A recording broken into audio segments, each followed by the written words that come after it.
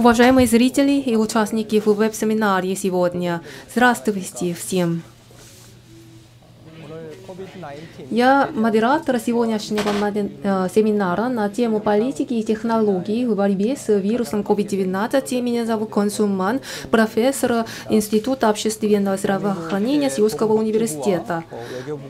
Сегодняшний семинар был организован Министерством здравоохранения и социального обеспечения и Министерством иностранных дел Республики Корея с поддержкой Института развития индустрии здравоохранения и Корейского фонда международного здравоохранения для обмена профилактических мер и технологиями Республики Корея информацией в отношении новой коронавирусной инфекции и для совместного реагирования на COVID-19. С момента первой вспышки пациентов с COVID-19 в 2019 году ВОЗ объявила о пандемии в марте, чтобы предупредить о глобальной эпидемии.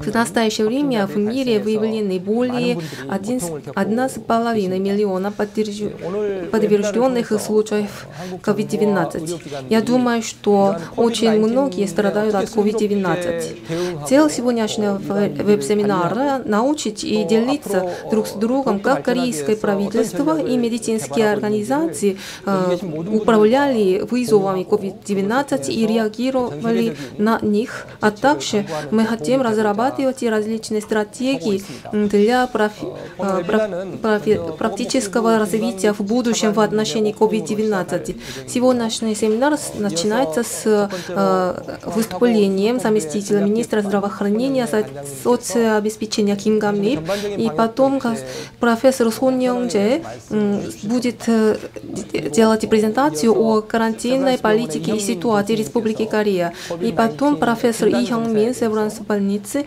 э, выступит с темой диагностическом тесте на COVID-19. И потом профессор Иджига выступит об эпидемиологическом анализе, и профессор Йон Джунсоп выступит о лечении и клиническом опыте.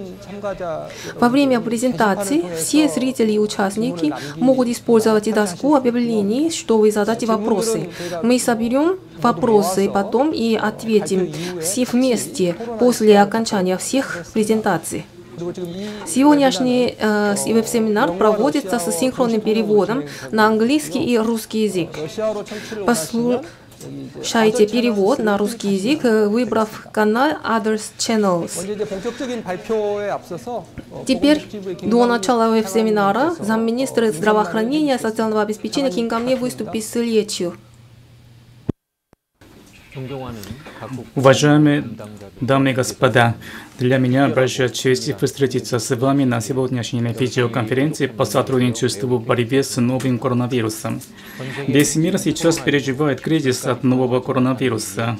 Мы понимаем, насколько тесно мир связан на основе солидарности и обмена. В связи с вспышкой коронавируса Корея создает новую модель реагирования на инфекционные заболевания в качестве демократического государства, основанного на глобализации и плюрализме. Мы стремимся предотвратить распространение вируса, минимизируя ограничения на зарубежные поездки и обмен. В Корее как граждане, так и защищены от COVID-19. В то время центральные местные власти играют свою роль в борьбе с коронавирусом с активным участием медперсонала и граждан. Мы в полной мере используем наши передовые технологические возможности и креативности. Хорошим примером является приложение для проверки самочувствия, для мониторинга зараженных и контактировавших с ними, а также скрининговые пункты для водителей автомобилей и пешеходов, а также ковидные центры. 방안도 고안하였습니다. Благодаря таким усилиям ситуация в Корее постепенно стабилизируется, но слишком рано, чтобы быть самодовольным и будем сохранять бдительность. До тех пор, пока не будут разработаны вакцина и способы лечения COVID-19, нам будет трудно возвращаться к предыдущему при, привычному образу жизни. Нам пора готовиться к новому устойчивому образу жизни. В Корее готовимся к переходу к, на физическое дистанцирование повседневной жизни, которая заменит нынешнее социальное дистанцирование. Настало время объединить усилия, чтобы защитить общество. Мы активизируем обмен информацией с зарубежными органами здравоохранения и медперсоналом с помощью веб-семинара и видеоконференции. В компании по социальному дистанцированию говорится, что нам оставаться отделенными физически, но связанными душевно. Надеюсь, что международное сообщество сможет вместе преодолеть нынешний кризис на основе солидарности и сотрудничества.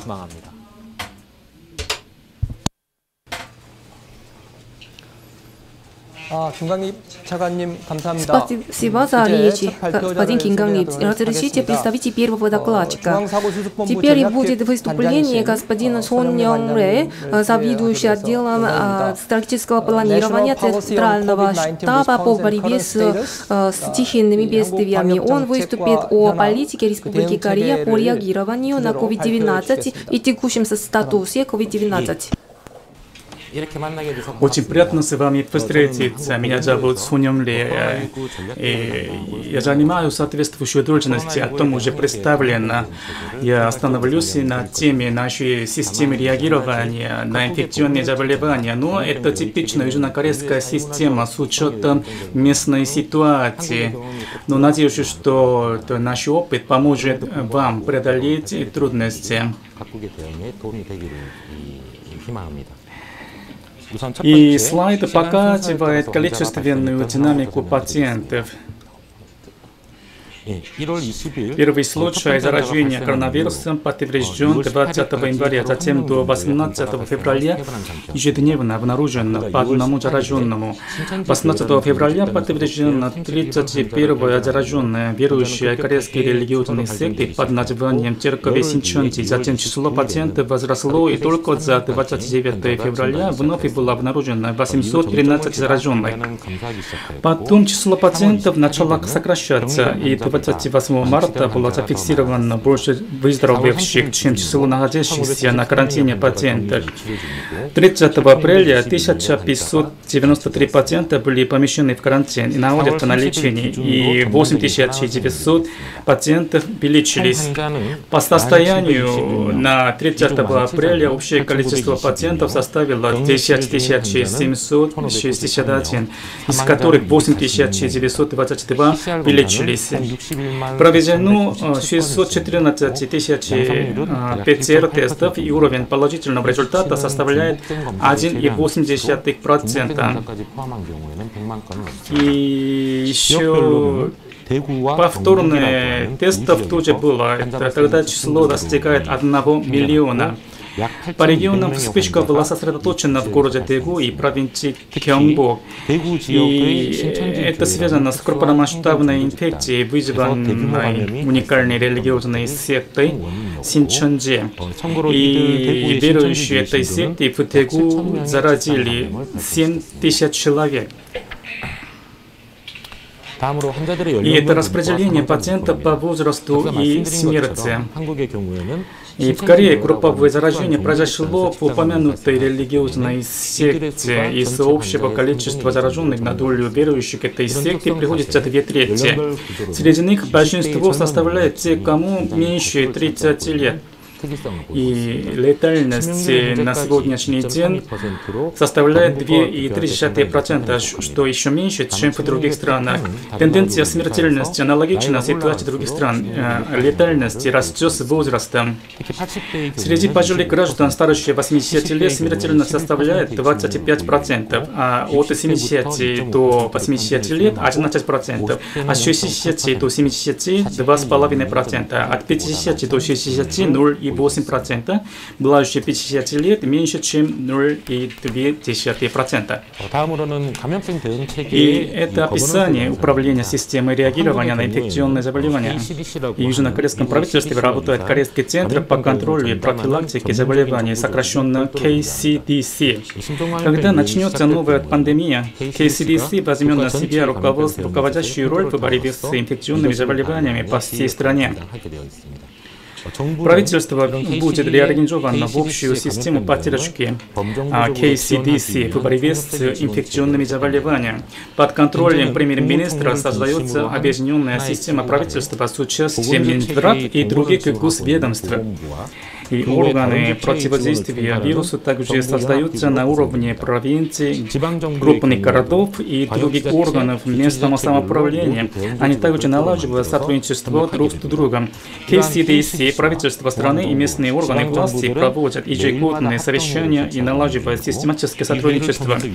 Информация о новых случаях заражения незамедлительно, незамедлительно публикуется ежедневно, а консультационные услуги предоставляют колл-центры и местные центры общественного здравоохранения. И правительство страны это рекомендует подробные меры предохранения, например, это держание дистанции от 1 до 2 метров друг с другом между людьми. И система поэтапного реагирования на инфекционные заболевания. Во-первых, если подтвержден зараженный случай, проводится быстрое и точное эпидемиологическое обследование с помощью технологий, информационных технологий, отслеживает перемещение пациента и публикуется информация. И персональные данные, как подробнее, не публикуются, и только о перемещении движения пациента. И через определенный срок эта информация тоже мы удаляем. И во-вторых, система экспресс-диагностики. В Корее возможности ПЦР-теста были расширены на ранние стадии, и было также установлено большое количество лабораторий для забора образцов. Это позволяет быстро обследовать множество пациентов. Кроме того, бывают бессимптомные зараженные COVID-19, поэтому охват тестированием расширен. Например, в случае обнаружения зараженных в плотном помещении, тест проводится для всех людей на том же этаже или 전체 사람들이 진단 검사를 실시합니다.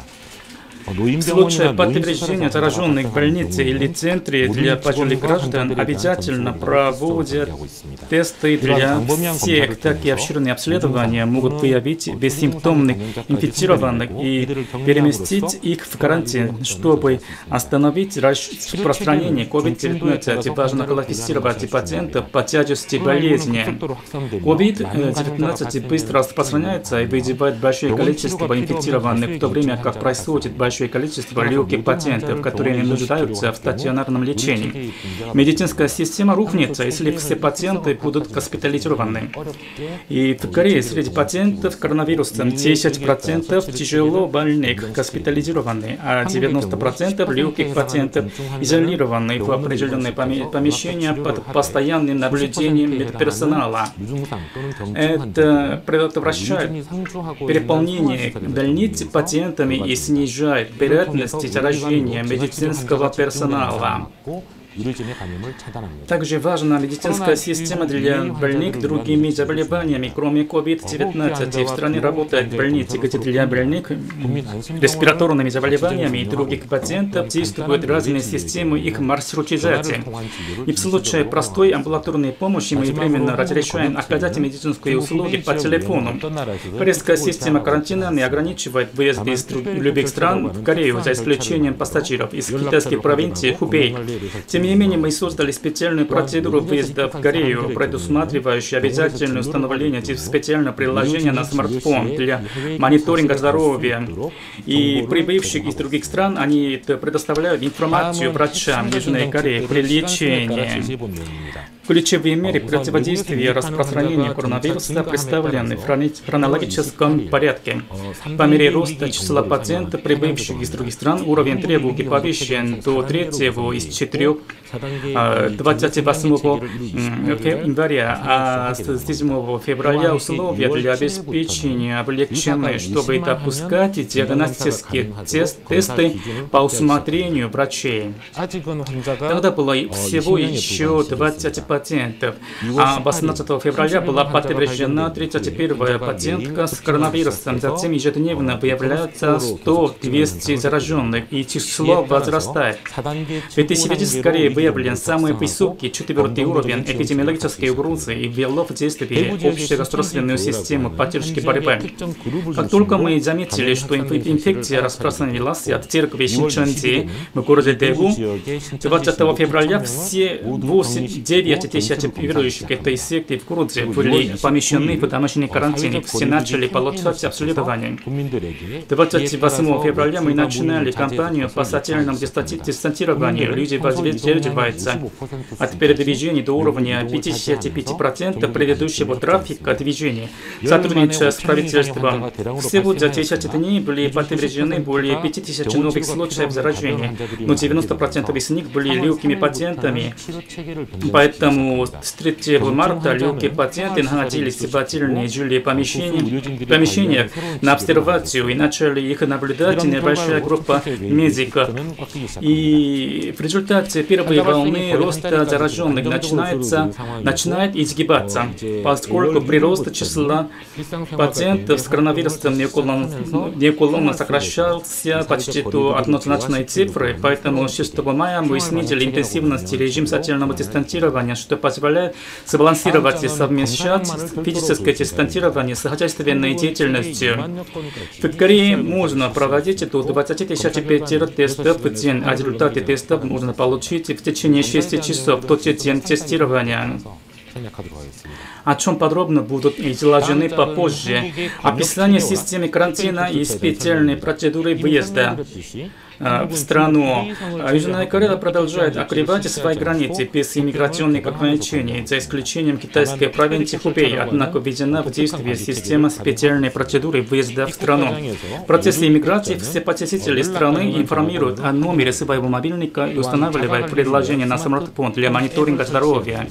С помощью приложения в течение 14 дней после прибытия в страну посетители два раза в день проверяют наличие само самочувствия и об этом информирует орган местного самоуправления, местного контроля.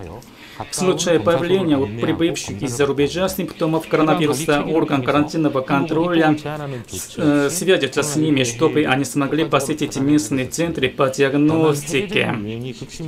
Однако ввиду усилен, усиления глобальной пандемии с 1 апреля всем прибывшим в Корею обязательно находиться на карантине в течение 14 дней. И это характеристики корейских э, контрмер против коронавируса.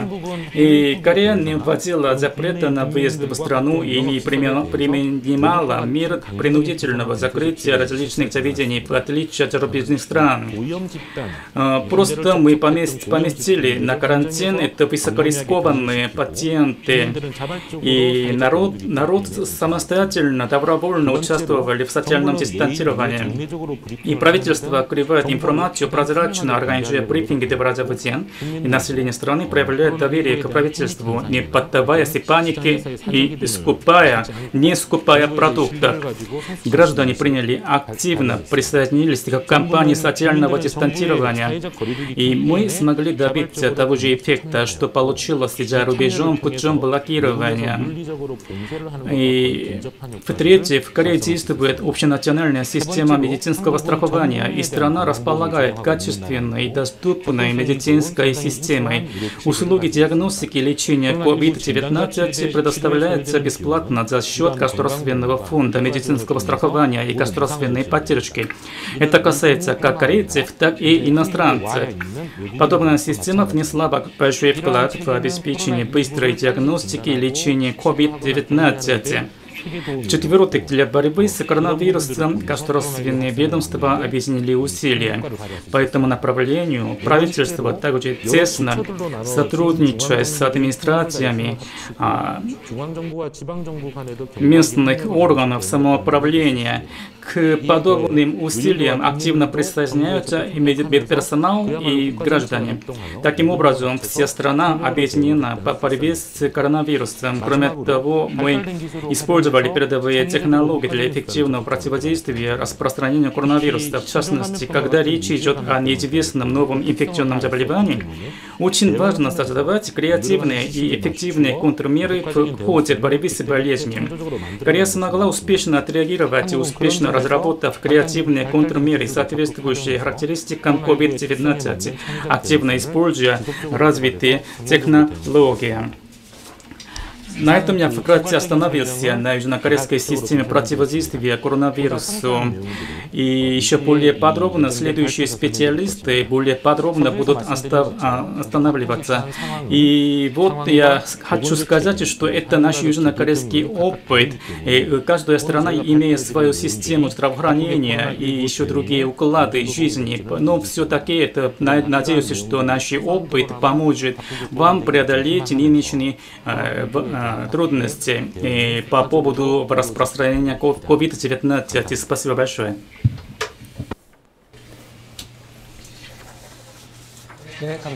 Спасибо за презентацию. Господин Суон э, поделился своим, своим опытом. Оставите вопросы и комментарии на доске объявлений.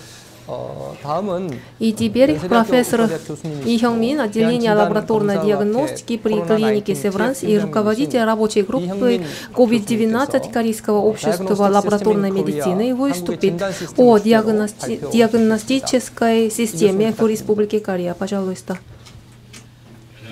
Здравствуйте, меня зовут Ихян Мин, профессор лабораторной медицины Медицинского института университета Йонсе. Сегодня я расскажу вам о методах диагностики коронавируса COVID-19. О новом типе коронавируса из семейства коронавирусов SARS-CoV-2 впервые было сообщено в китайском городе Ухан в конце 2019 года. Сообщалось, что новый вирус на 18, 80% имеет генетическую взаимосвязь с коронавирусом SARS-CoV 2003 года. Название нового вируса дали SARS-CoV-2. Заболевания, возникающие в результате данной вирусной инфекции, стали называть смерти COVID-19. Внизу представлены вирусы TGA-6.3, демонстрирующие более высокую генетическую взаимосвязь с ранее известными коронавирусами, но новый вирус имеет некоторые особенности. Следующий, пожалуйста. Инфицирование новым видом коронавируса впервые началось в Китае. До настоящего времени в Китае выявлено примерно 82 тысячи больных, и из которых 3300 больных скончалось, и в настоящее время ситуация там успокоилась. И в другие страны, в том числе в Корею, COVID-19 стала распространяться. В США выявлено 400 тысяч больных, из них 30 тысяч человек погибло.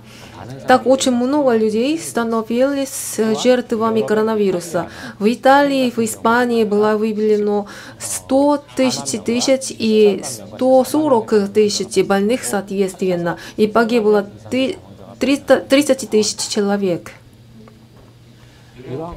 Есть несколько причин большого количества смертей в результате COVID-19. Самая необычная особенность заключается в том, что в случае инфицирования обычным вирусом наблюдаются равномерные показатели смертности. Допустим, коэффициент смертности составляет 10%, тогда из 10 умирает 1, и из 100 умирает 10. Но в случае с COVID-19, чем больше число инфицированных, тем выше коэффициент смертности. Поэтому если из 10 человек умирает один человек, и если заболевает 100 человек, умирает тогда не 10, а 30 человек. Эту особенность можно объяснить следующим образом. Если возникает большое число инфицированных COVID-19, то увеличивается количество людей, которым не оказывается соответствующая медицинская помощь. Умершие из этой категории людей становятся фактором высокого уровня смертности.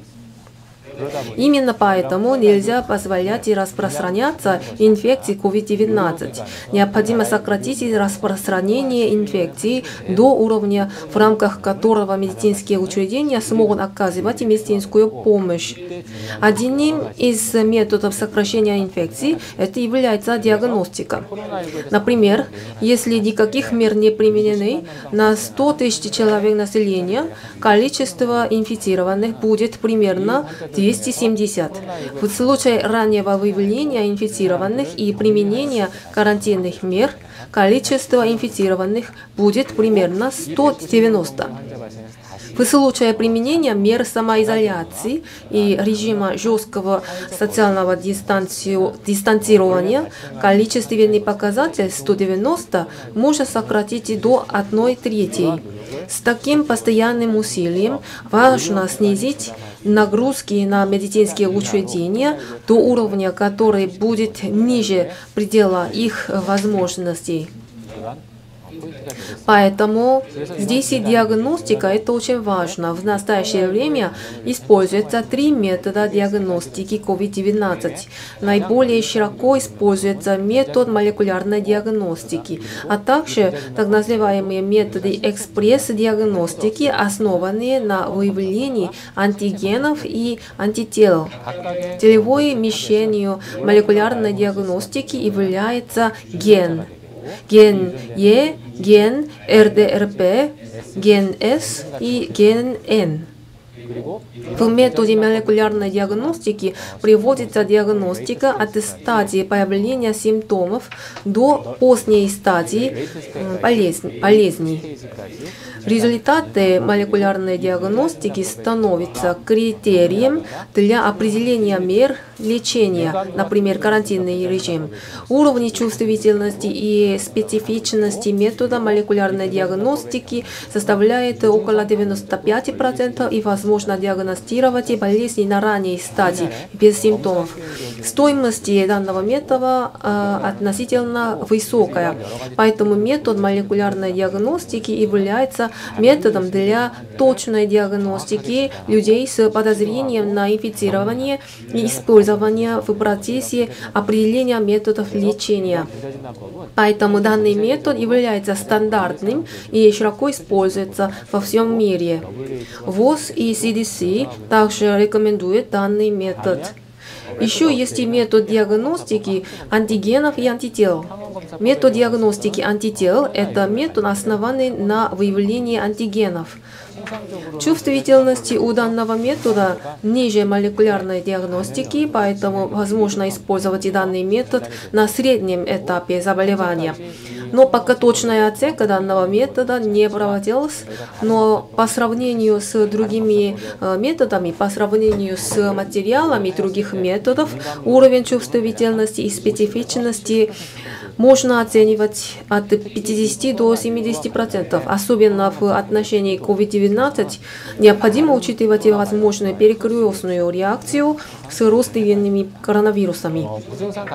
Касательно возможности тестирования бессимптомных инфицированных, думаю, что результаты тестирования будут варьироваться от количества антигенов.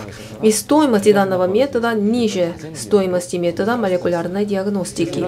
Вот так метод диагностики антигенов уступает методу молекулярной диагностики, поэтому в условиях пандемии, когда единовременно наблюдается сотни тысяч больных, можно учитывать диагностику антигенов.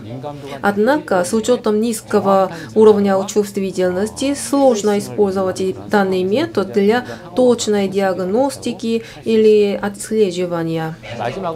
Последний метод – это диагностика наличия антител. Антитела образуются после заражения спустя 7 дней до 28 дней. Уровень чувствительности низкий на ранней стадии заражения в первые две недели после инфицирования. Спустя определенное время, 14 и 21 дней, для формирования антител данный метод показывает высокий уровень чувствительности, например, 95%. Но пока чувствительности и специфичности не оценились. Но необходимо учитывать сезонности коронавирусных заболеваний и необходимо помнить о возможной перекрестной реакции. Диагностировать бессимптомное течение болезни очень сложно, поэтому на начальном этапе в организме нет антител. Спустя примерно 14 дней возможно диагностировать бессимптомных инфицированных. Стоимость невысокая, поэтому его можно использовать с целью, например, эпидемиологических исследований и для проверки эпидемиологических связей. Когда способность использования метода молекулярной диагностики является недостаточной и возникает пандемия, данный метод можно использовать в вспомогательных целях. Эти две методы уже принимаются в некоторых регионах Китая. С учетом этих особенностей в Корее используется только метод молекулярной диагностики. В случае использования метода молекулярной диагностики мы теперь должны обратить внимание на образцы генетического материала. У больных, зараженных COVID-19, с начала этапа заражения большое количество вирусов находится в верхних дыхательных путях. Согласно журналам Lancet Infectious Disease и New England Journal of Medicine и другие исследования, уже на ранней стадии стадии проверка мазков из горла показывает наличие большого количества вирусов в верхних дыхательных путях. Согласно данным Clinical Infectious Disease, на ранней стадии появления, проявления симптомов в 1 миллион слюны содержится примерно 10 в пятой степени до 10 в восьмой степени вирусов. Такие симптомы наблюдаются у людей от 4 до 9 дней, и затем э, после 9 день проходят. И большое количество э, вирусов обнаруживается в верхних дыхательных путях, но самое большое количество вирусов обнаруживается в органах дыхания. Объем э, вирусов в органах дыхания превышает объем вирусов в верхних дыхательных путях в 10-100 э, раз. Самый хороший генетический материал для диагностики COVID-19 – это жидкости бронхоальвеолярного э, лаважа из органа дыхания. Чувствительности на основе такого материала составляет 93%. Показатель чувствительности у мокрот пациентов с респираторными симптомами составляет 70%, а у материала мазка из носа 63%. Наблюдается относительно низкая чувствительность в тестировании мазков из глотки, потому что за 4-9 дней количество вирусов в слюне снижается. Поэтому на средней и последней стадиях болезни, когда вывод вируса больше не про происходит, уровень чувствительности мозгов из глотки составляет около 30%. Такое явление подтверждается и в других примерах. Смотрите на результат анализа первого пациента в США. Например, на седьмой день результаты мазков из носоглотки и ротоглотки были позитивными, но увеличилось значение КТ в мазке из ротоглотки. На 12 день значение КТ высокое, и позитивный результат мозга из носоглотки сохраняется, и из ротоглотки отрицательный.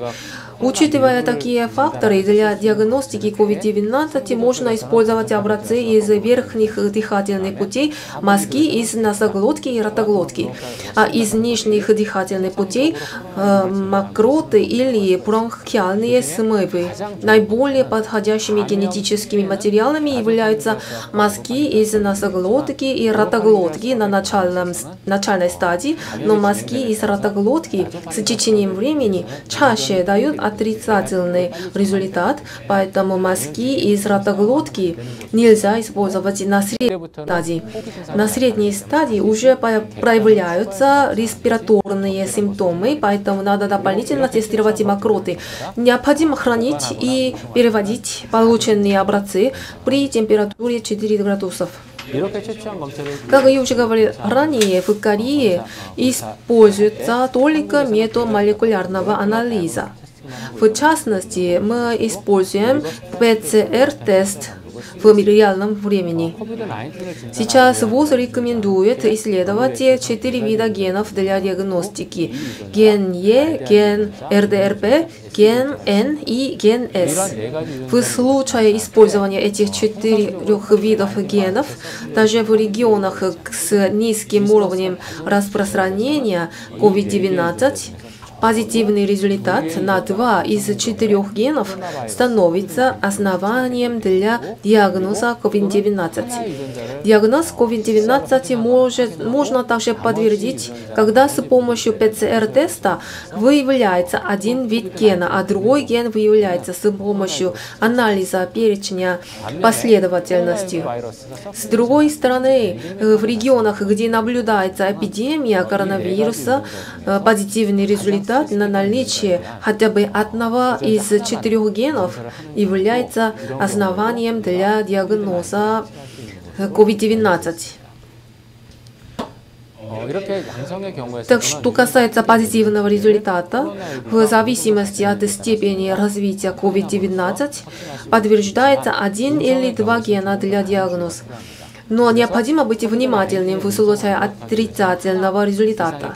Даже если хотя бы один ген был отрицательным э, в тестировании, нельзя на 100% исключать вероятности COVID-19, потому что сложно забрать образцы. Для забора мазка из носоглотки нужно вставить ватную палочку, чтобы она коснулась задней стенки носоглотки. Поэтому ватную палочку нужно вставить глубоко. А, в этом процессе многие чувствуют боль, из-за этого люди отводят свое тело а, назад. Это мешает э, процессу точного забора. Врачи тоже не могут точно определять, насколько глубоко была выставлена ватная палочка. Иногда ватная палочка вводится недостаточно глубоко, и забор мозга происходит в средней части носоглотки. Тогда это уже не забор мозга из носоглотки, это уже мазок из носа. Как я уже показал, в случае тестирования носа из-за мокрот уровень позитивных результатов снижается, и в этом случае можно получить ложно отрицательный результат. Поэтому нельзя исключать вероятность заражения COVID-19, также мы получим отрицательный результат в этом случае. Проблема транспортировки тоже очень важный фактор. РНК вируса легко распадается, поэтому если не хранятся и транспортируются образцы при необходимых условиях, тогда вирус не обнаружается и результат будет отрицательным. На ранней или поздней стадии наблюдается сокращение выделения вирусов. Поэтому на этих стадиях невозможно использовать метод молекулярной диагностики. Здесь надо использовать диагностику антитела. Также могут быть и технические проблемы. Коронавирусы хорошо мути мутируют и также хорошо рекомбинируют. Поэтому, если в нашем целевом гене есть мутация или рекомбинация, диагностика COVID-19 невозможно. Ингибитор в материале может влиять на все реакции ПЦР, которые могут вызывать ложно-отрицательные результаты. Таким образом, необходимо учитывать ингибитор, и здесь внутренний контроль имеет решающее значение. Посмотрим, каким образом и на каких участках происходят мутации COVID-19. Сейчас многие тесты системы производятся с учетом ген Е, ген С, ген Н и РДРП. Участки гена S, гена E и гена N – это участки, где часто наблюдается мутация. Участок РДРП тесно взаимосвязан с выживаемостью вируса, поэтому здесь и не очень часто наблюдается мутации, поэтому обычно селективно используем гены SEN и РДРП для диагностирования болезней. Таким образом, с комбинацией генов можно диагностировать и COVID-19. Такие методы диагностики на базе анализа генов уже были представлены много раз. В них рассказывается о выявлении гена N, гена E, РДРП и в редких случаях ОРФ1Б. Сейчас в Корее э, можно использовать пять видов тест-систем, одобренных в э, срочном порядке. Большинство тест-систем ориентировано на диагностику на базе гена Е и РДРП. И некоторые системы дополнительно могут выявлять ген Ен. Скажу пять тест-систем, которые одобрены и используемые в Корее по порядку. Тест-система PowerCheck компании Cogen Biotech. Тест-система iPlex компании CGen. Тест-системы NCOV и Diaplex Q компании SD Biosensor и Slogent. Тест-система RealQ компании BioSium. Таким образом, были разработаны ряд тест-систем в Корее для тестирования COVID-19. По сравнению с другими странами, большой объем анализов привлекает большое внимание. Есть несколько причин высокой способности молекулярной диагностики в Корее. Во-первых, Корея хорошо обеспечена оборудованием для ПЦР в реальном времени. Э, в 2009 году инфлюенса нового типа распространялась в Корее и были проведены 1 миллион ПЦР-тестов в режиме реального времени, и одобрение для ПЦР в Корее стало необходимым теперь. Во-вторых, обеспечение необходимым оборудованием формировало рынок этого вида оборудования, и впоследствии этот рынок молекулярной диагностики расширился в Корее. Вот таким образом, с поступлением такого оборудования многие компании начали разрабатывать технологии молекулярного анализа. Это привело к применению разработанных систем во всех сферах медицины. Э, в заключение, последним фактором высокого уровня молекулярной диагностики в Корее является состав корейских экспертов, которые специализируются на лабораторной медицине. В мире нет так много стран, где имеется система с врачами, специализирующимися на лабораторной медицине. Корейские эксперты сделали большой вклад в плане обеспечения разнообразия и специализации анализов. Благодаря их усилиям были созданы научные сообщества для одобрения и оценки деятельности в лабораторной медицине и они повысили способность диагностики в Корее. С повышенным э, уровнем способности диагностики были активно проведены тестирования COVID-19 с начала февраля. В разгар э, эпидемии количество анализов в день достигло от 20 тысяч до 25 тысяч в день. Сейчас в день проводится до 20 тысяч анализов. На начальном этапе из-за наличия многочисленных пациентов из религиозной секты Синчанджи уровень прироста новых зараженных был аналогичен с показателями других стран, но в результате расширенной диагностики и мер по изоляции сейчас в Корее наблюдается тенденция снижения заражения. Помимо этого, Корея демонстрирует значительно низкий уровень смертности по сравнению с другими странами. Есть две причины низкой смертности в Корее. Во-первых, большая часть инфицированных в Корее – это молодые люди в религиозной секте Синчанти в возрасте 20-40 лет. Во-вторых, быстрое проведение большого количества тестов позволило обеспечить обнаружение болезни на ранней стадии. Поэтому коэффициент смертности низкий по сравнению с другими странами.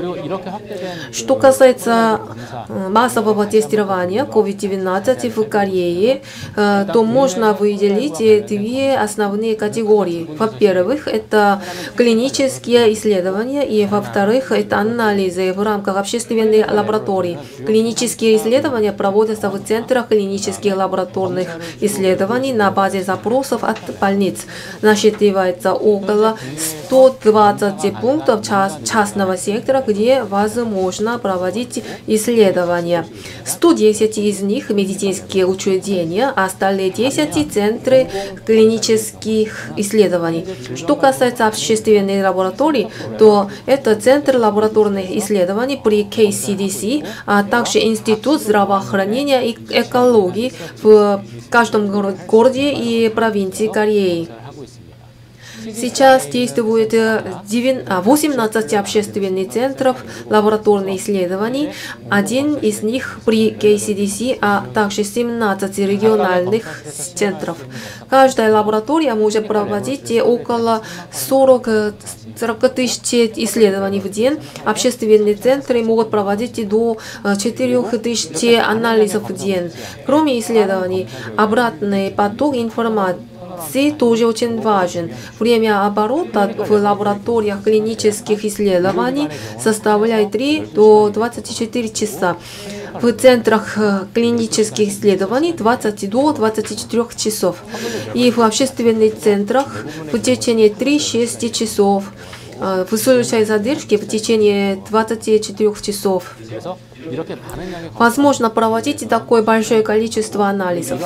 И сейчас в Корее возможно производство до 300 тысяч тест-систем в сутки. В сутки используется 30 тысяч и 40 тысяч тест-систем, и поэтому оставшийся объем примерно 200 50 тысяч тест-систем можно экспортировать за рубеж. Использование тест-систем в процессе диагностики приводит к ряду вопросов. Например, э, в случае применения молекулярного метода можно столкнуться с позитивными результатами в отношении одного из генов COVID-19, даже у людей, которые не вызывают подозрения на наличие COVID-19. В этом случае нельзя здесь расшифровывать результаты только на основе полученных цифр. Необходимо проверить показатели кривой амплификации и необходимо проверить пик амплификации соответствующих генов. В этом случае можно определить проблемную кривую графика. С проверкой данного участка возможно э, проверите участки, где не наблюдается увеличение показателей. Обычно это ложно-позитивный результат, который возникает в результате перекрестного воздействия ПЦР. В случае позитивного результата на один из генов необходимо проверять кривую, кривую амплификации. Определять ложно-позитивные показатели – это очень важно для диагностики COVID-19.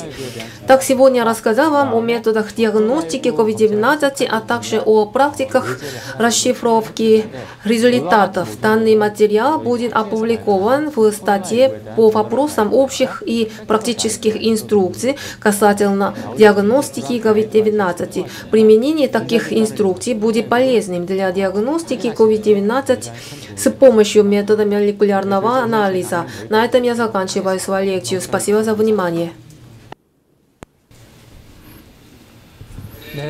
Спасибо большое, господин профессор Ли, и которые читали лекцию о диагностической системе в Южной Корее.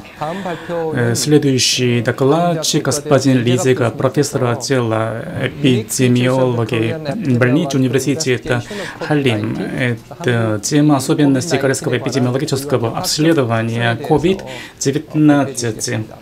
Прошу вас.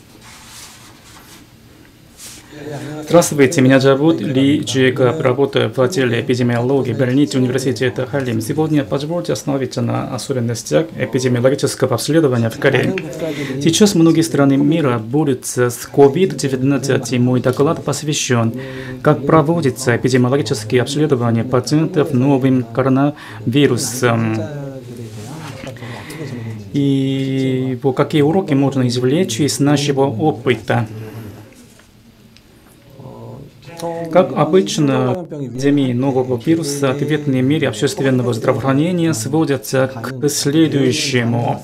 В частности, можно выделить такие вопросы, как профилактика при выезде в страну, Ответные меры на каждый случай обследования, ранний скрининг, лечение не только больных коронавирусом, но коронавирусом, но и больных другими болезнями, и как распределить медицинские ресурсы. И сегодня в основном расскажу о способах обследования и контроля и за эпидемией.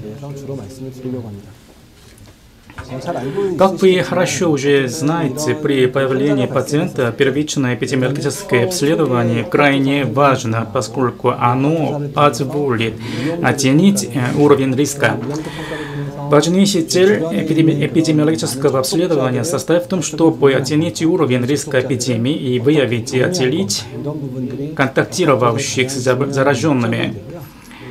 Вот теперь я проинформирую вас об особенностях подобного обследования и его способах в Корее. Вначале я остановлюсь на основных элементах эпидемиологического обследования, которые используются в Корее. Во-первых, когда подтвержден зараженный, вначале изучаем содержание медицинской карты пациента и его ответы.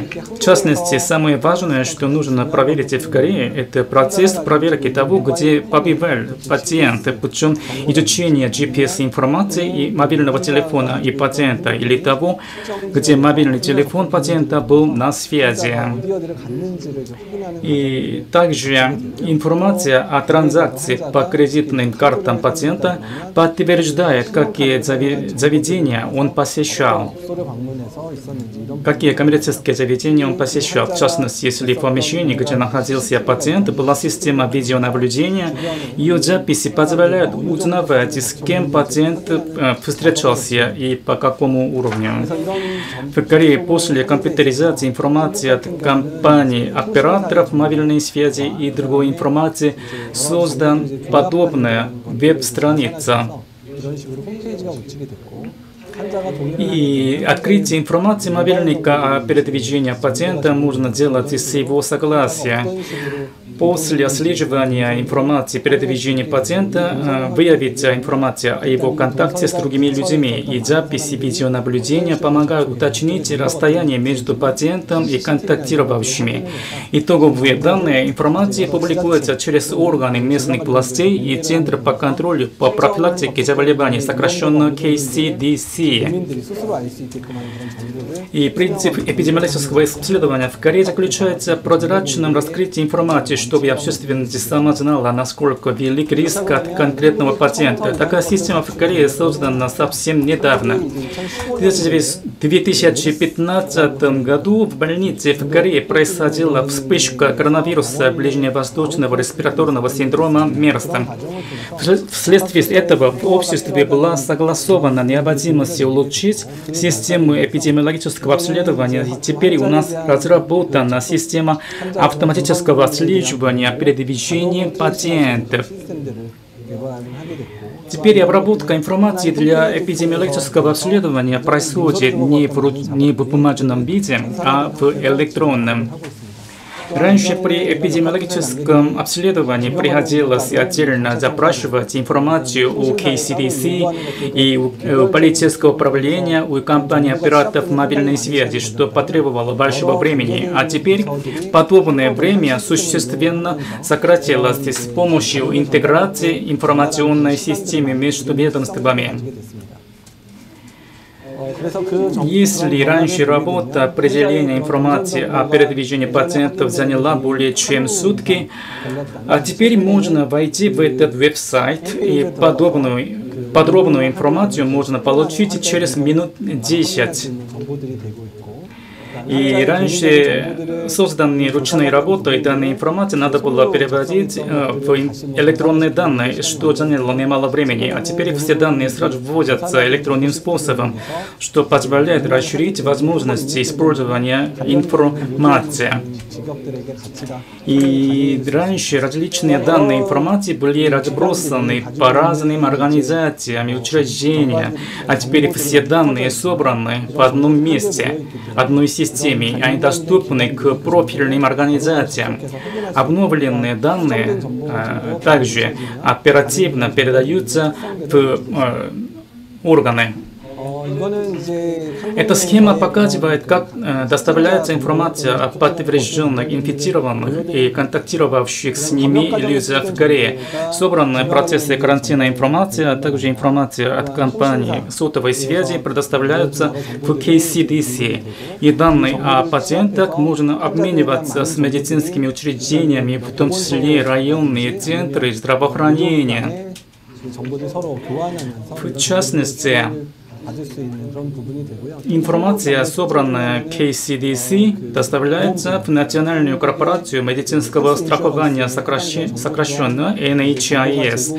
Затем медицинские учреждения, которые также могут разобраться в данных о контактировавших с инфицированными людях. Если человек относится к категории контактировавших с зараженным, мобильные приложения будут установлены на его мобильный телефон. И приложение переведено на несколько языков. И когда пользователи вводят э, в мобильные, если пользователи вводят в мобильные приложения такую информацию, как наличие жары, кашля, боли в горле, одышки, когда она немедленно передается на домашнюю страничку KCDC и в районный центр здравоохранения. Мы следим за тем, чтобы такие люди направлялись прямо в скрининговый пункт на обследование. Если контактировавшие с зараженными установили на своем мобильном мобильнике подобные приложения и находятся вне помещения карантина, об этом немедленно сообщается в районный центр здравоохранения или в KCDC. Работа системы, по которой человек может сразу о своих симптомах информировать местный районный центр здравоохранения. Подобная система служит важным инструментом инструментом для тщательного контроля за контактировавшими с инфицированными. Наиболее характерной особенностью при сборе такой информации являются инфокоммуникационные технологии, на основе которых можно получить точную информацию. Ее можно использовать на эпидемиологическое обследование в реальном режиме времени. И вот это помогает, это оперативно заниматься а, эпидемиологическим обследованием. При создании подобной системы руководствовались на принципе открытости и точности информации, которая в реальном режиме времени публикуется а, населению. Кроме того, с учетом принципа демократии, раскрытие этой информации происходит, чтобы предотвратить нарушение прав человека и предоставлять подобную информацию по ограниченном объеме только в целях защиты здоровья каждого из жителей э, страны. С точки зрения общественного здравоохранения. Я читал, как зарубежные средства массовой информации в своих статьях выражают беспокойство о вопросах прав человека в области информации. Хочу в этой связи отметить, что Республика Корея вполне демократическая страна, и открытие информации происходит только ради обеспечения общественной безопасности, обеспечивая права человека. И таким образом информация, собранная во всех процессах эпидемиологического обследования, передается только в крайне нужные учреждения с исключением персональных данных пациентов. Подобная информация может быть использована только для того, чтобы жители страны могли знать о контакте с зараженными и защищали свое здоровье. И личная информация определенных лиц раскрывается для общественности до того уровня, на который не будет нарушения их прав человека. Изложил важные аспекты эпидемиологических обследований, которые проводятся в Корее. Если у вас будут вопросы, я отвечу попозже по время вопросов и ответов. На этом я закончу свое выступление. Благодарю вас.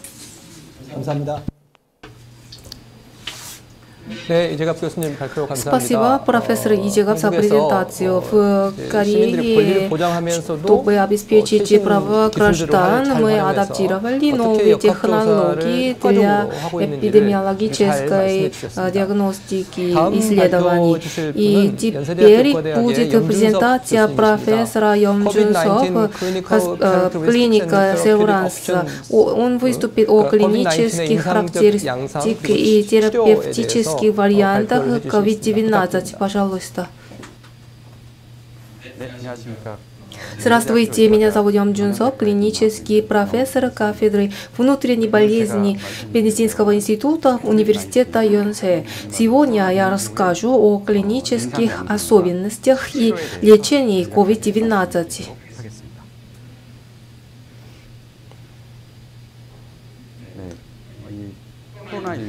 Возбудитель COVID-19 – это вирус семейства бета, бета-коронавирусов, называемый SARS-CoV-2.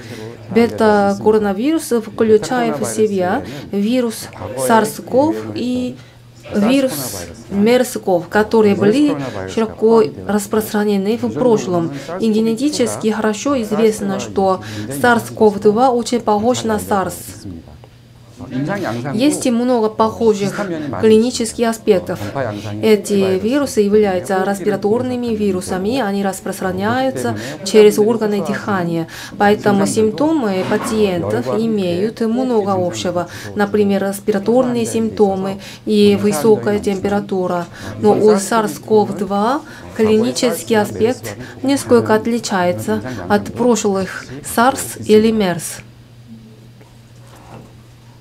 В начале было много споров о том, как распространяется SARS-CoV-2.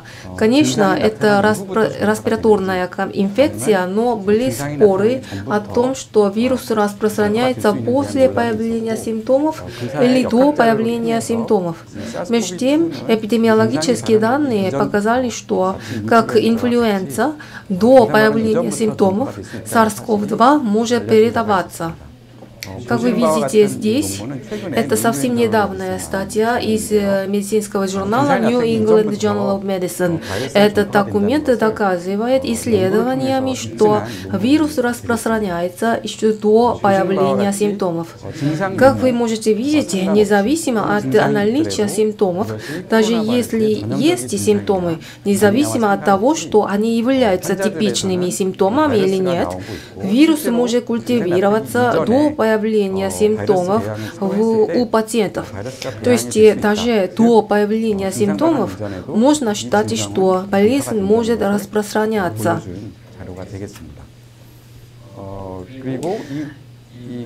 И у пациентов COVID-19, как инфлюенса, наблюдается большой объем вирусов на ранних стадиях заболевания. И с течением времени объем вирусов постепенно уменьшается, и вирусы выделяются через верхние дыхательные пути примерно до двух недель. Поэтому причиной эпидемического распространения COVID-19 во всем мире является возможность распространиться на других людей с, даже с бессимптомной стадией. То есть и до лечения и до помещения пациентов на карантин в определенном учреждении этот вирус уже распространяется. Это является основной причиной всемирной эпидемии COVID-19. Это результат нашего исследования в Корее. В настоящее время в Корее зарегистрировано более 10 тысяч пациентов с COVID-19. В этой статье представлена диаграмма, показывающая, как вирус появляется у 28 пациентов в Корее на ранних стадиях. У корейских пациентов также большое количество вируса появляется на ранних стадиях, и вирус уменьшается развивается со временем. И такую тенденцию можно найти и в Китае, и в других странах. Известно, что COVID-19 особенно опасен для пожилых людей. COVID-19 может заражать людей всех возрастов, но известно, что пожилые люди в возрасте старше 50 или 60 наиболее повержены осложнениям. Фактически эти данные из э, китайского города Ухан сравнили группы пациентов в общих палатах и в отделении интенсивной терапии и показали, что группа 65-летних пожилых людей имеет высокую долю пациентов, которые нуждаются в интенсивной терапии. Согласно эпидемиологическим данным из города Ухан, в начале эпидемии у 98% пациентов пациентов были высокая температура, кашель, боли в мышцах и так далее. А у 3% диарея. В прошлом SARS или MERS имел больше симптомов диареи, чем SARS-CoV-2, и степень или характер других респираторных симптомов могут быть похожими. А в группе высокого риска может появиться пневмония, когда пневмония появляется, на рентгенограмме наблюдается двусторонняя пневмония. Интересно, что у 80% пациентов были высокая температура и кашель, но одышка только у 30% пациентов. То есть наблюдается относительно очень мало случаев с симптомами одышки у пациентов с пневмонией. Это особенности пациентов с пневмонией пневмонии COVID-19. На самом деле, когда измеряют состояние пациентов, хотя уровень насыщения кислородом очень низкий, но и не испытывают никаких симптомов, таких как одышка или стеснение в груди. При изучении клинического аспекта в Корее для первых 20 8 пациентов. Здесь были включены многие, у которых не было серьезных симптомов. Только у 25% людей была высокая температура и было мало кто жаловался на респираторные симптомы. Поэтому, когда впервые испытали COVID-19 в Корее, многие думали, что COVID-19 был несерьезным заболеванием. Однако потом в Тайгу и Гyeongsangbuk-do произошла масштабная эпидемия, и с тех пор число пациентов быстро увеличилось, и сейчас зафиксированы более 10 тысяч пациентов. Согласно данным KCDC, первые 7505 случаев были в основном инфицированы в возрасте 30 лет, а затем в возрасте 40-50 лет. Если вы смотрите на процент, смертности увеличивается в основном с возраста 50 лет и старше. И в возрасте 60-70 лет смертность очень высокая. Если смотрите по регионам, в Тегу и Гyeongsangbuk-do смертность был выше, чем в других регионах Кореи. Считается, что есть много причин, э, но может быть это из-за большого количества пациентов за короткий период времени. Массивно Повторное инфицирование произошло в доме э, престарелых, где было госпитализировано много пожилых людей с основными заболеваниями и плохим питанием. Поэтому, особенно в этих регионах, был более высокий уровень смертности. Среди 66 умерших пациентов у 96 и 80% было, по крайней мере, одно хроническое заболевание. Люди с основными заболеваниями в пожилом возрасте являются группой высокой риска. Около 80% пациентов бессимптомными, но у некоторых пациентов с симптомами и в тяжелых случаях с пневмонией состояние быстро ухудшилось. Таким образом, если вы посмотрите на случай смерти, период от госпитализации до смерти очень коротко, примерно 5 дней. То есть заболевание быстро развивается с момента возникновения пневмонии. Лично я видел, что пациенты, которые хорошо поели утром, но в тот вечер у них быстро развивалась пневмония, и они подвергнулись использованию аппарата ИВЛ. 그래서 이 Вот таким образом, важно отметить, что 80% пациентов COVID-19 естественно э, выздоровели без специального лечения, если нет тяжелых симптомов. Но здесь э, важно предсказать, кому становится хуже, у кого развивается пневмония и кто нуждается в интенсивной терапии в больнице. И особенно в Корее в течение короткого периода в конкретном регионе развивалась масштабная эпидемия, и тогда больница не может принять всех пациентов. Поэтому очень важно, как сортировать пациентов и сколько быстро госпитализировать только пациенты с высоким риском обострения. То есть процесс триаж очень важно. В клиническом процессе интересно, что пневмония начинается развиваться с 7 по 8 день после появления симптомов. В первом клиническом анализе в Ухане после появления симптомов потребовалось около 7 дней для госпитализации. Время до появления одышки составляет 8 дней, и через один день после госпитализации серьезная одышка появляется. До появления э, РДСВ занимает 9 дней. То есть симптомы будут появляться и быстро быстро прогрессировать до появления одышки. И через э, примерно 10 с половиной дней после госпитализации уже надо быть в отделении интенсивной терапии и очень быстро прогрессирует с момента появления одышки. Итак, поскольку мы также столкнулись с такой серьезной эпидемией, э, если вдруг появляется много пациентов за короткий период времени, мы можем выделить группу высокого риска на основе их основного заболевания и возраста. Но кроме того, мы использовали метод для сортировки групп риска по клиническим показателям.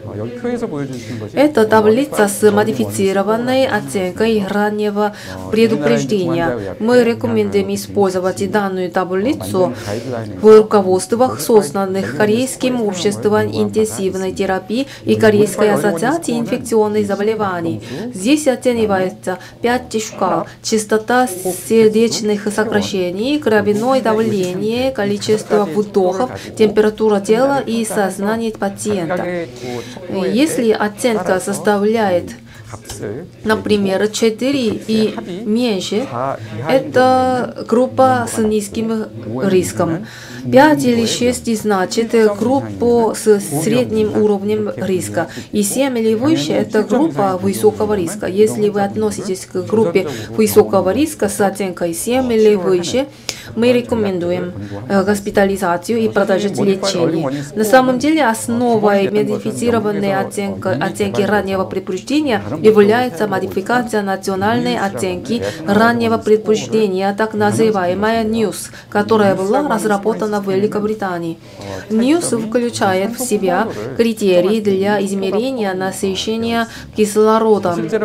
Когда было так много пациентов, Одновременно мы управляли временным медицинским центром и в процессе принятия решения о том, кто выходит в группу высокого риска, а кого следует перевести в больницу. Было сложно делать рентгенографию или компьютерную томографию, поэтому очень часто использован уровень насыщения кислородом. Таким образом, не только частота сердечной сокращений, давление крови, количество вдохов, температура тела и сознание пациента, но и уровень насыщения кислородом также рассчитывались. Такой метод расчета был эффективным в стратегии раннего госпитализации пациентов высокого риска, то есть именно э, в триаже. И здесь эта таблица недавно опубликована в статье, когда было слишком много зараженных в городе Дегу, было возможно предсказать риск пациента и реагировать на ситуацию по телефону благодаря данной таблице. Как я уже говорил, в течение короткого периода времени в Дегу и Кёнсанбукто был взрывной рост числа заболевших COVID-19. Э, Тогда, поскольку все эти пациенты не могли быть размещены в больнице. Многие были помещены на домашний карантин.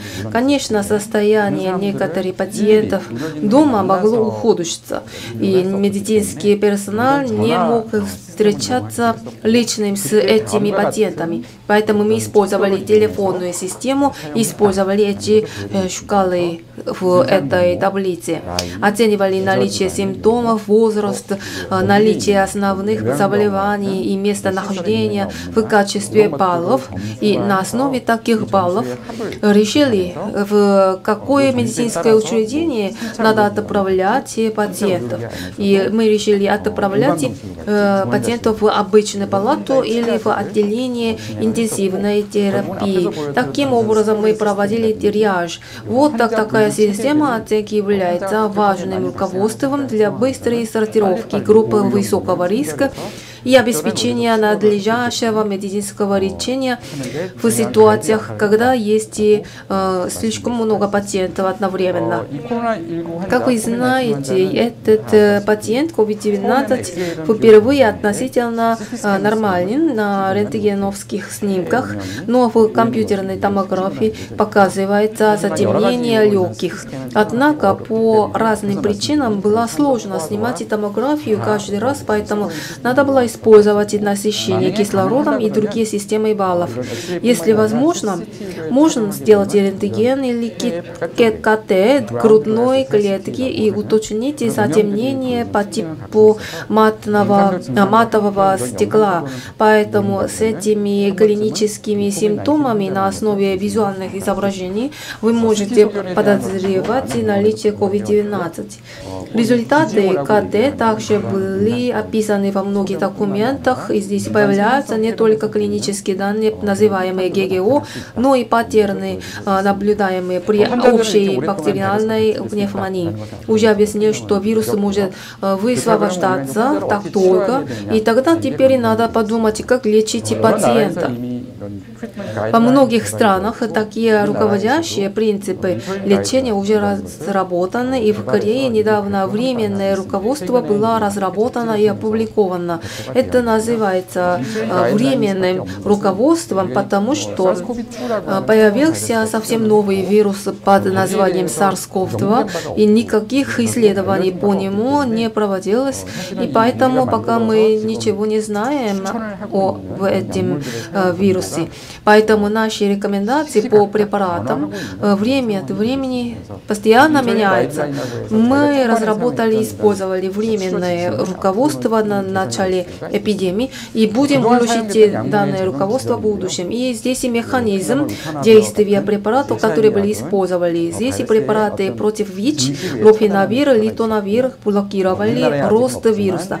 И ремдесивир, который пока нет в Корее, но в последнее время время известно, что он эффективен, эффективно. Это также используется в процессе деления вируса. Также есть и препараты малярии, хлорихин или гидрохлорихин, гидроксихлорихин. Он оказывает противовирусное действие и воздействует на стадию проникновения вируса в клетку. Еще есть и реконвалесцентная плазма и комостат. Он блокирует проникновение вируса в клетку. Поэтому э, его эффективность стала известной в рамках программы по перепрофилированию лекарственного препарата. Поэтому была рекомендована использовать эти препараты в руководствах по лечению.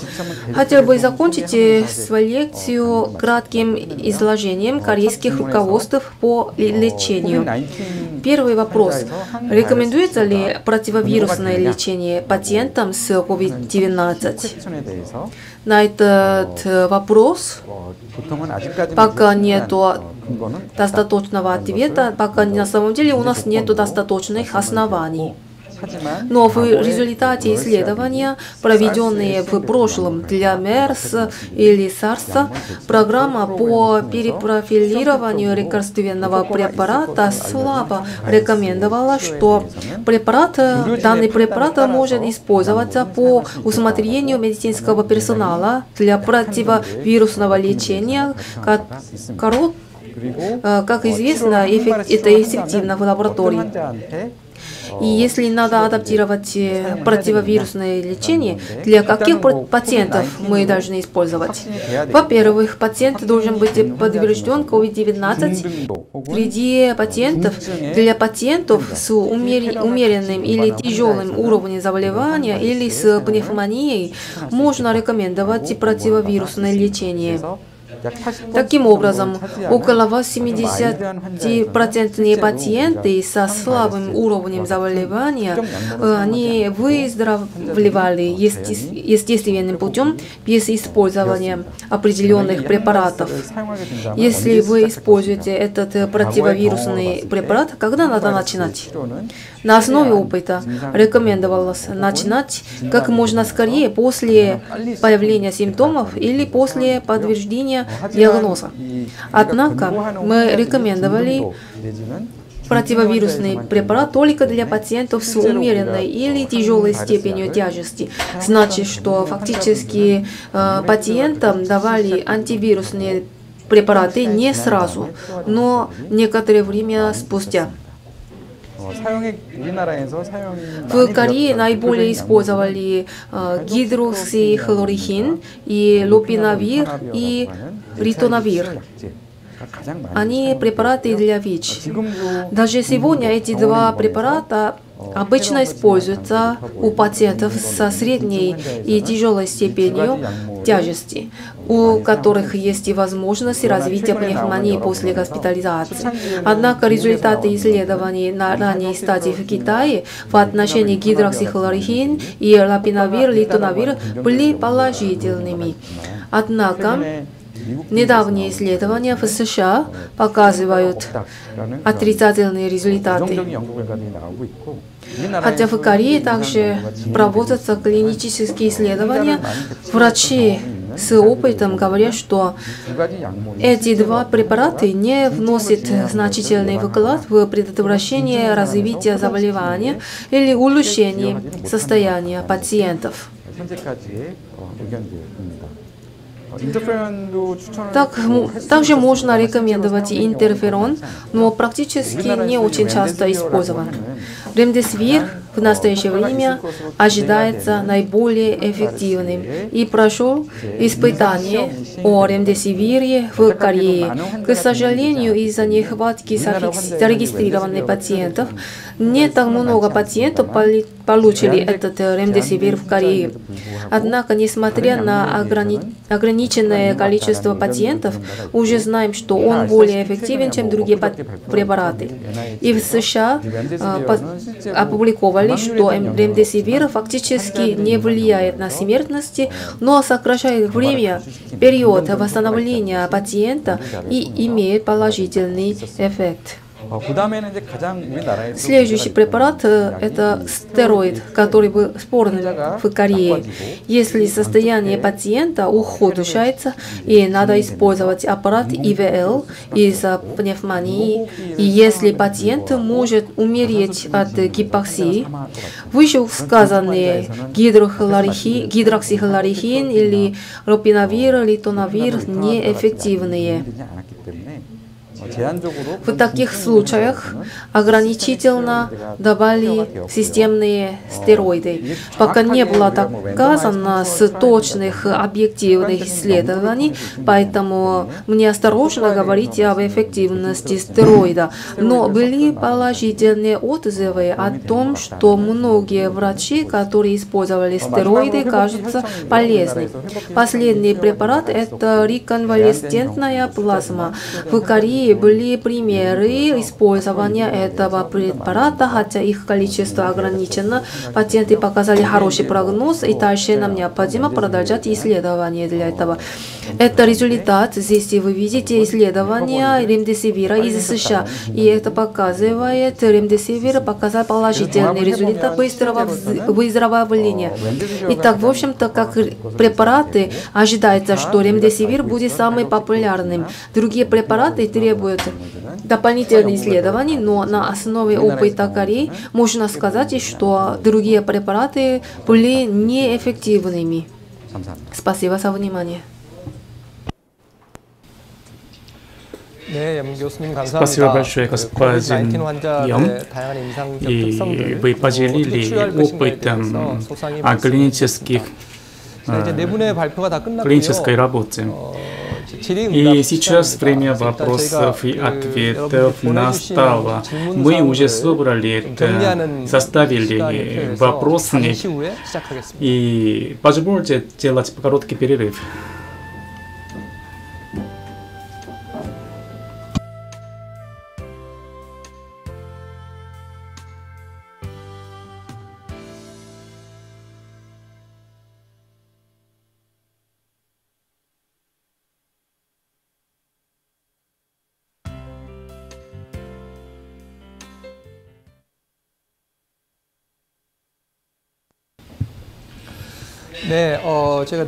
Да, и мы прослушали четыре презентации каждому из докладчиков. Мы два вопроса, по двум вопросам мы дадим. И еще первый раунд, второй раунд еще будут. И по очереди докладчиков мы будем слушать ответы. Вначале господин Соньям Ле 질문을 드리도록 하겠습니다. Uh, considering COVID-19 characteristics, uh, what are the top priorities? Ответы. Например, и вот это какие приоритеты с учетом особенностей коронавируса, какие меры считаются приоритетными и важнейшими при противодействии коронавирусу с учетом его особенностей? Ну, много сказать можно, но с учетом Южной Кореи два момента могу сказать. Первое, и путем эпидемиологического обследования обследования. Надо тщательно проводить эпидемиологическое обследование. Еще надо расширить охват тестирования. Это второй момент.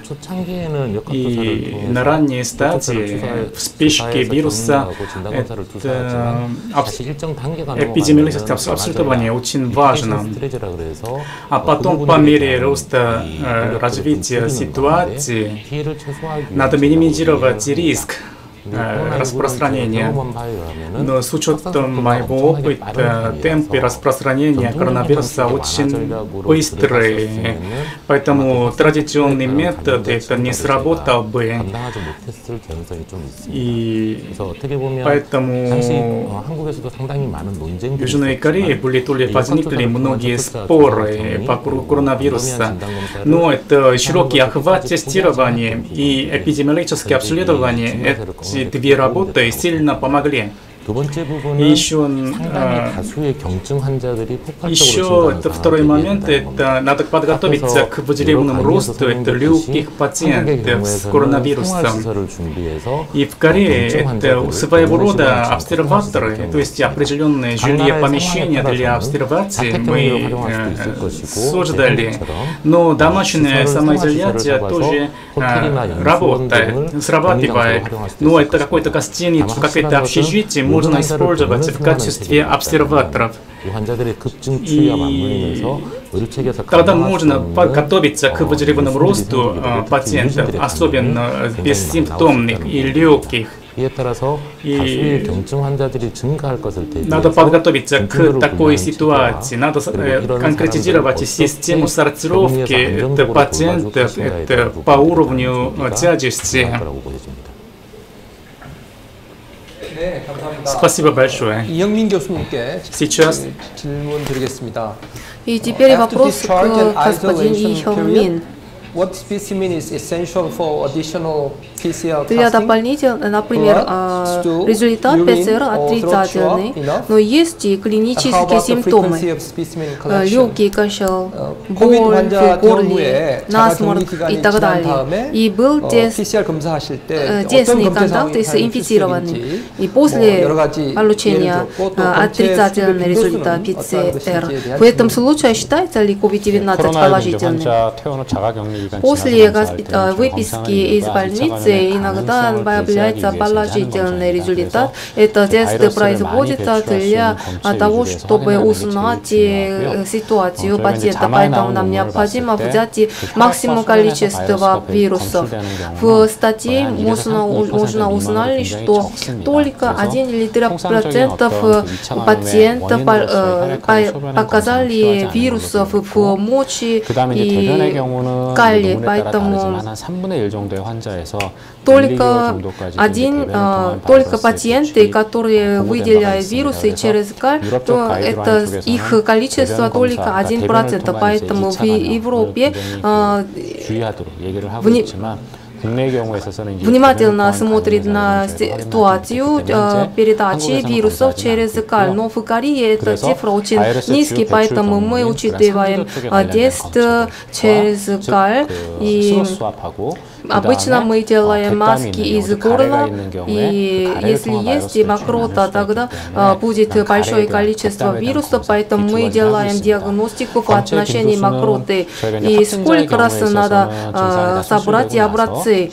Один или два раза. Мы обычно делаем два или больше образцы за 20, за 24 часов, и во время в инкубационный период, если получаем отрицательный, тогда еще раз мы проводим диагностику. Благодарю вас. А теперь третий докладчик, господин Лидика. Два вопроса. Это какой процентный показатель регоспитализации пациентов коронавируса? И и в Корее, да, выздоровевшие и выписанные. И по последним данным, 300 пациентов выписаны, а потом регоспитализированы. Поэтому это примерно 3, где-то 3% от заболевших. 이 그 코로나 바이러스에 대한 PCR을 했더니 PCR이 재양성되기 때문에 백지에르, 분들도 있고 no 분리하에 백지에르 테스트. 뭐 악화됐거나 시작된 게 아닌데 no 했더니 따사문질 레지지 특히 의료진이라든지 no, 뭐 간병을 한다든지 дело в том, что 이제 직장에 복귀하기 전에 한 번 더 검사를 하고 이제 괜찮은 те люди бывают, которые уже выздоровели, но они беспокоились о возможности работы, и они опять прошли тесты, но опять получили позитивный результат. 지금 И 질병관리본부가 в 연구를 этой 하고 связи 있는데요. идет э, 이 исследование. 재확진된 사람들, 이 재입원된 для таких 사람들이 людей 다른 환자에 이 다른 사람에게 감염시켰던 경우 они 확인되지 않았고 не заразили других. 일부 실험 실험을 했던 것 Во-первых, 중에서 이- 바이러스 컬처, 그러니까 바이러스 이- 배양을 есть 이용해서 это мы 바이러스가 살아있는지 использовали 검사했는데 바이러스는 살아있지 않은 Еще 것 другой 같아요. тест. На, на 그래서 самом 그 деле 부분에 эти 한국의 вирусы 감염병 не 전문가들은 инактивированы 재확진 уже. 사례들, 또 재입원하는 Уже 사례들의 фрагменты, 대부분들이 это осколки 바이러스가 вирусов 좀 COVID-19, проекта, которые обнаружены, и дали как лжи позитивный э, результат. Это от, э, вот так мы полагаем. И, но 사람들에 대한 어떤 위험도가 тем не 정확하게 менее, 판정되지 надо 않기 때문에 уточнить 그런 분들 다시 ситуацию. 입원시켜서 격리를 하고 있고요. И 이런 поэтому 분들이 이제 происходит 다시 регоспитализация на всякий случай. 24시간 그 2회 이상 음성이 나오면 И- 그때 다시 а 퇴원시키는 потом мы 방법으로 проводим 현재까지는 PCR-тест. 격리를 유지하고 있습니다. 네, 감사합니다. А, Спасибо за вопрос. Теперь будет вопрос к профессору Йом Чун Каковы показания для назначения системных э, глюкокортикостероидов, заразившихся COVID-19? Я уже немножко сказал о стероиде, но до сих пор в Корее мы попробовали некоторые новые препараты, но стероид из, был эффективен только для пациентов с тяжелым степенью тяжести. Поэтому объективно у нас нет анализа э, в отношении стероида, поэтому э, системные стероиды можно использовать только для пациентов, которые уже находятся э, с использованием аппарата ИВЛ. То, то есть пациенты с серьезным симптомом, серьезной стадии можно использовать стероиды. Спасибо большое. Четыре докладчика очень дали 어, ответы. Сейчас второй раунд. И господину Суну хочу задавать вопрос. Например, прогнозируется возможно повторном пандемии COVID-19. С чем как мы сможем гармонично совместить хозяйственную деятельность и повседневную жизнь для населения? 어, 이 부분에 대한 질문은 네. 사실은 이, 이. 아무도 모른다. ну, на самом деле это очень сложный вопрос. Точные ответы дать вряд ли возможно. И не только в Корее, и во всем мире надо еще а, обсудить вопросы, и надо создать комплексную стратегию по этому поводу. 활성화되지 않은 건 상당히 아쉬운 점들이고요. И, 다만 한국의 и 경우에는 в случае 지속적으로 일상생활과 Южной 경제활동을 Кореи 저하된 상태로 유지하기에는 мы Сейчас это режим социального дистанцирования требует не немало затрат. Поэтому мы хотим э, реорганизовать такой режим, э, чтобы совместить хозяйственную деятельность и повседневную жизнь. Именно это э, физическое дистанцирование в повседневной жизни. Например, во-первых, в повседневной жизни народ может заниматься хозяйственной деятельностью. 개인 위생 Но 수칙과 надо 사회적 соблюсти 거리두기의 рекомендации, 시민들을 санитарные рекомендации. Надо помыть, надо часто помыть руки, и надо дистанцироваться от людей а, от одного до двух метров. Ну, если болеют, на- надо сразу это, надо отдохнуть дома. Вот такие санитарные нормы надо соблюсти. 사실은 코로나19의 감염이 이- 다시 생기는 거를 이 막겠다는 뭐- 취지는 아닙니다. ну, такие же миры, это вряд ли, это, это такие миры выработаны не с учетом возможности повторной пандемии. Ну, такие же меры это стремятся к снижению темпов распространения коронавируса и какие-то устойчивые устойчивая возможность нужна. Это в рамках проведения тестов. Надо расширить охват тестирования, чтобы заранее найти зараженных. Еще с помощью эпидемиологических обследований надо активно отслеживать э, контакты и перед, передвижение а, зараженных. Э, и это как, как, как максимум надо помест, поместить это на, каран, на карантин зараженных, допуская хозяйственную деятельность на определенном уровне. И, да, это то, такие мире это для сдерживания темпов распро распространения вируса. И поэтому надо подумать о возможности еще других мер для предотвращения повторной пандемии, не только в Южной Корее, в других странах. Надо накопить опыт во всем мире, а потом нам необходимо поделиться таким опытом. Спасибо большое. Спасибо. И теперь второй вопрос к профессору И Хён Мин. symptoms of mild cough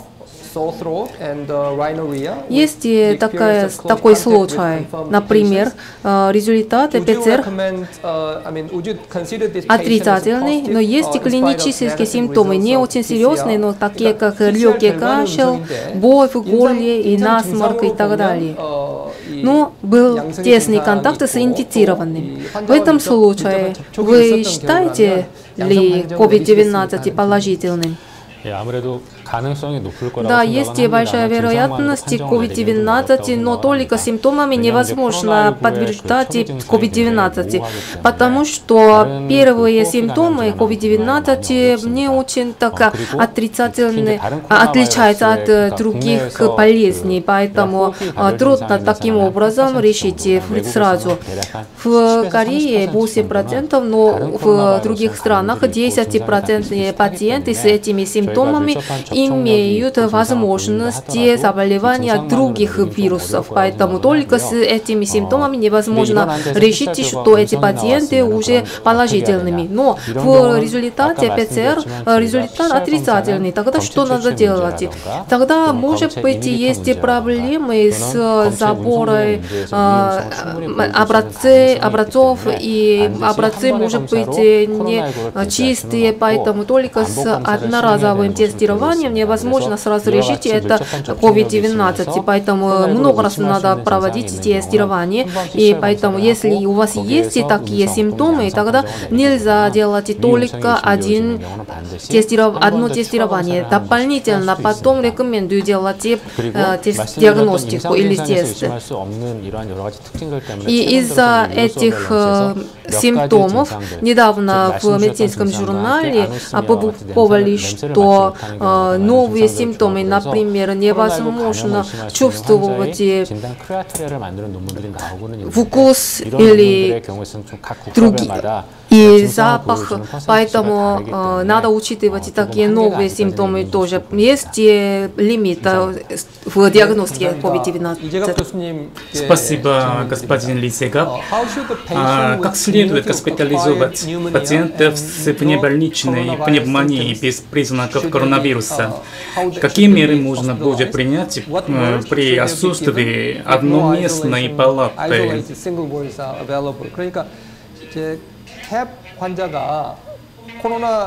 вот как надо обратиться с таким, такими больными, с внебольничной пневмонией и еще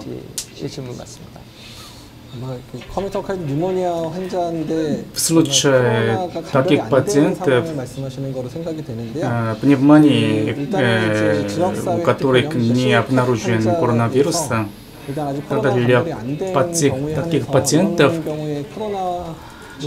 и, ну, есть вероятность обнаружения коронавируса высока, поэтому у нас есть скорее это некоторые больницы перепрофилированные, чтобы больны, каждого больных из больных пневмонии смогли госпитализировать в одну больничную, одну местную палату.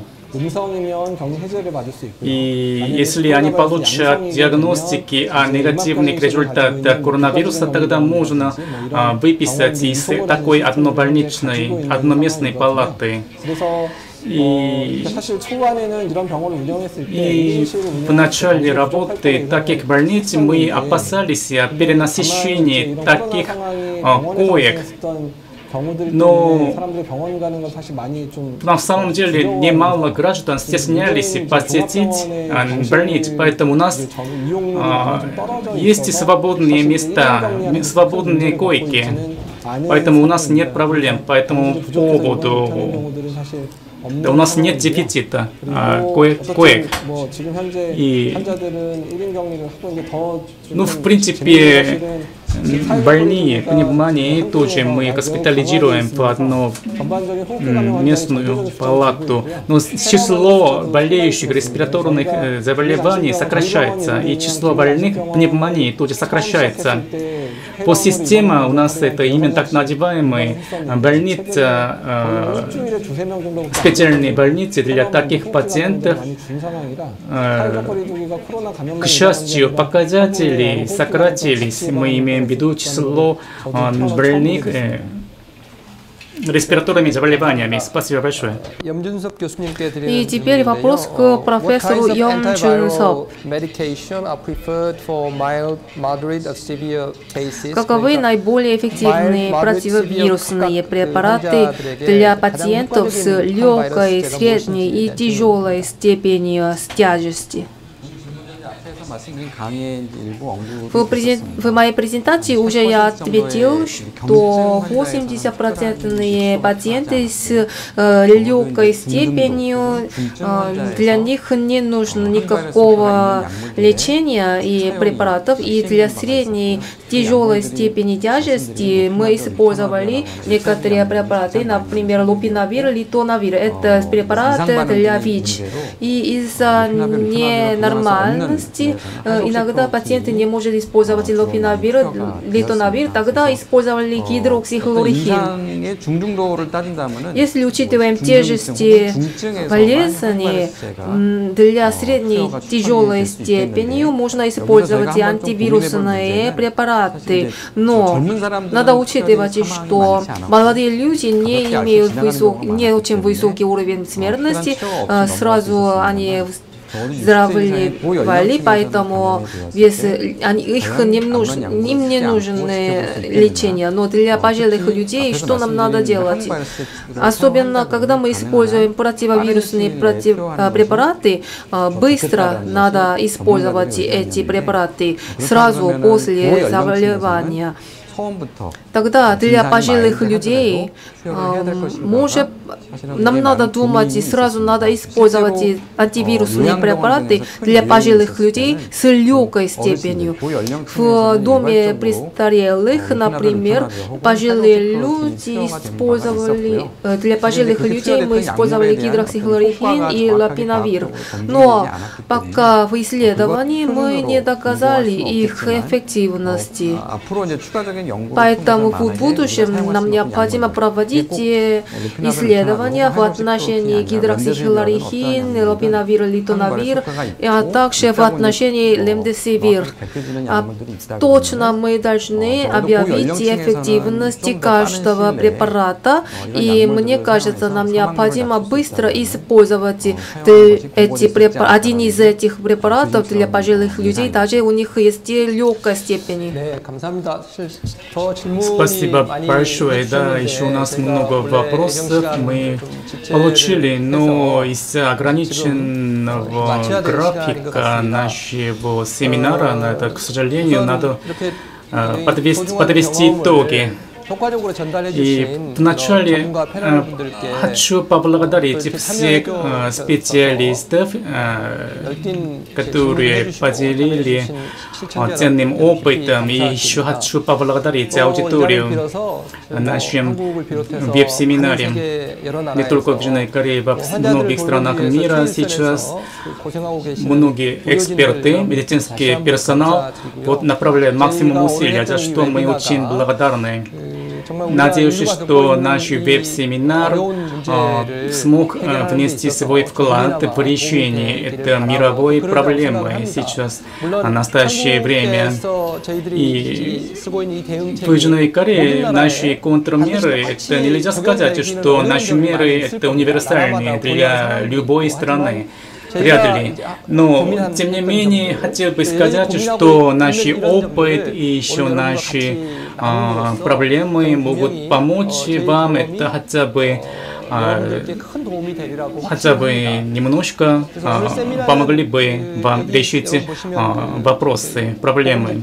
Еще Министерство здравоохранения в веб-сайте Южнокорейского Министерства здравоохранения можно посмотреть это наш веб-семинар.